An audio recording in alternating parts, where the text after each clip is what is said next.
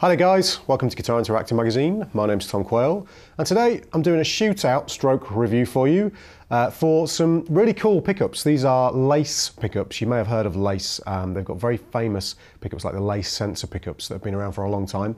It's used by lots of famous players. Now the way this is going to work, you can probably see we've got three of the same type of um, Korean made Les Paul style clone guitar and the one in the middle I'm holding right now has got the stock Korean pickups in the one on my left has got the Alumitone pickups in, which are very, very interesting, quite um, exciting and innovative pickups.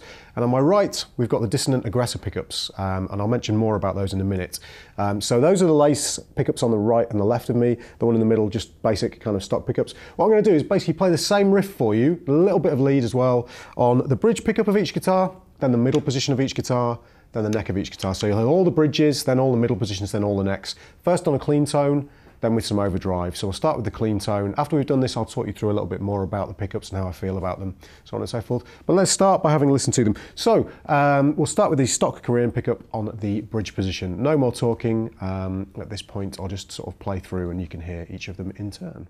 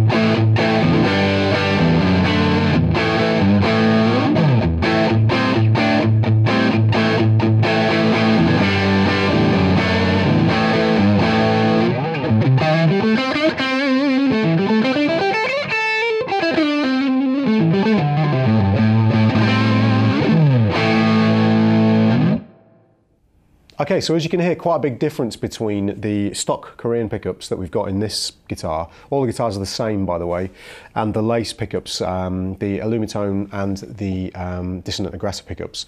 Now, You'd expect the difference, but there's actually quite a big difference between the two lace pickups. And the reason for that is not only that they're different pickups, of course, but the technology used in these Alumitones is uh, different to standard guitar pickups. If you look at the design itself, you can see it's got a very different look. You can't see traditional kind of pole pieces, for instance. Um, the actual design is made out of a core piece of aluminium. Um, and still uses copper like a standard pickup, but about 90% less than you would find in a normal pickup. And um, aluminium or aluminum if you're American, has got much less resistance than copper, which means the electrons can flow much more freely. Uh, it's actually got a resistance of about 2.7k, around 3k, which would make you traditionally uh, think that it would have a very low output and it wouldn't really be able to kick an overdrive well on an amp. It would have a really weak output and a very kind of vintage sound. But as you can hear, they're very kind of full sounding with a lot of top end and a lot of uh, bottom end as well. Very full sounding pickup indeed um, for that low output. Uh, but what you normally find is if you raise the uh, resistance or the output of the pickups to around kind of 17 um, or above 20k, anything high output, you tend to lose a lot of the highs. Um, it rounds out the sound a lot. It gives you a lot more aggression, but you get a lot more rounded um, highs, which is why a lot of kind of active pickups sound quite clinical um, and not too dynamic. Whereas with these, as you can hear, they've got a very dynamic sound, and that's thanks to the use of the um, aluminium or aluminum in the actual construction. So very, very nice pickups. So these were actually my favourite of the three. Um, I think they've got this great response and attack um, and dynamic um, representation of your playing. They they feel great when you play um, through them. Certainly a lot better than the um, stock Korean pickups, which sound fine, but these would be a significant upgrade. The only downside of these pickups, and it's it's really an aesthetic one, is that you can see they leave a gap. I don't know how well the cameras can pick that up, but they leave a gap um, either side of the uh, pickup uh, configuration. There's some manufacturers out there that I won't name for obvious reasons that have kind of got around this by designing their guitars a slightly different way. Um, uh, when they're actually you know, mounted on the body. But if you've got a traditional pickup ring like this, they do look a little odd, um, but it's a nice design. It's a, a, very futuristic, cool design that looks certainly not out of place, but just be aware of that little gap there because the pickup is actually slightly shorter. Uh, than a standard pickup. But these are my favourite. I think they're absolutely fantastic. Uh, they're lace, so they're supremely well made and they sound absolutely great. So again, go back and check out the um, the sort of comparison that we had there just to check out the differences between this and the stock pickups. So what we'll do now is we'll switch over to the um, the uh, aggressor, dissonant aggressor pickups, I should say, sorry, uh, and we'll have a look at those um, in terms of construction and what they give you. Okay, so the dissonant aggressor pickups, these obviously look a lot more like traditional humbuckers. Um, no pole pieces to show, but obviously they're hidden by the, uh, the covers here.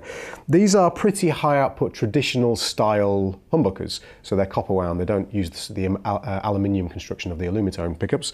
Um, the bridge pickup is around 18K, 17.8, something like that, so a high output, very uh, aggressive sounding pickup, but still manages to retain a lot of the highs actually. It sounds really nice actually slightly less aggressive sounding in my mind than the Alumitones. Um, these seem to drive a little bit harder, even given their lower resistance, and that's why I particularly like those. But these sound great as well. They've got a lot of definition for a high output pickup. Um, the neck position pickup is about 14k, again, just under 14k, which is very high output for a uh, neck position pickup. But again, you get lots of clarity. So again, go and check out the uh, demo uh, near the beginning of the video and you'll hear the differences there. Again, a huge upgrade from the uh, stock Korean pickups. And if you're in the market for a guitar such as, you know, a, a kind of generic clone of a guitar, if you can't afford the real deal, the lace pickups are a really good bet. I mean, they've got a really solid reputation over the years. They've been around for a long time. Um, and they really do sound great. You can guarantee that anything in the range is going to sound good. But certainly, I can recommend these for kind of traditional um, uh, metal and kind of more aggressive rock playing. Uh, I mean, these are the um, Bill Kelliher from Mastodon. These are the signature pickups that he uses. So they're designed for that kind of sound. And he plays quite a wide range of um, metal subgenres. So you you know you can guarantee they're going to fit within a lot of those different styles and work really really well. Huge upgrade for a kind of moderately priced guitar or even an expensive guitar. Um, so very very worth um, while checking out. So that's the Lace Alumitone and the Lace Dissonant Aggressor course, showing for the uh, stock Korean pickups as well. But the whole point of these is uh, these are seen as upgrades, really, and I definitely recommend them. So check them out. Really, really worth uh, having a look at. Hope you've enjoyed this uh, shootout stroke review, and I will see you next time.